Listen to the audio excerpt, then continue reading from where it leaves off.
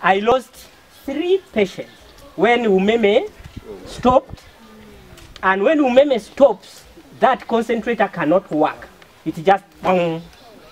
They don't care whose life is being preserved, and you just switch off, and they don't answer to anybody.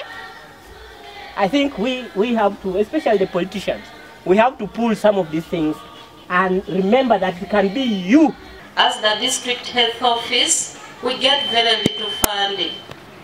We are not able to support.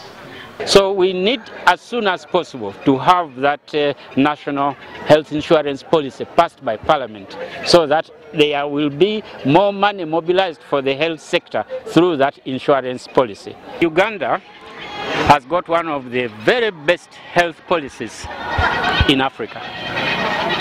The policies which we have on paper here in Uganda are among those which other countries are implementing, only that they're implementing them better than we are. And you are asking the question, why is Uganda not implementing them as well as those countries? Well, there, there are many reasons.